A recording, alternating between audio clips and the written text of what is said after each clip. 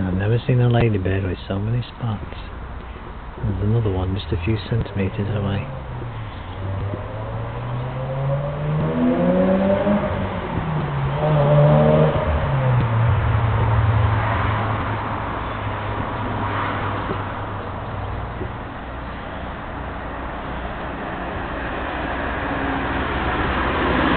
You can learn what you can't hide.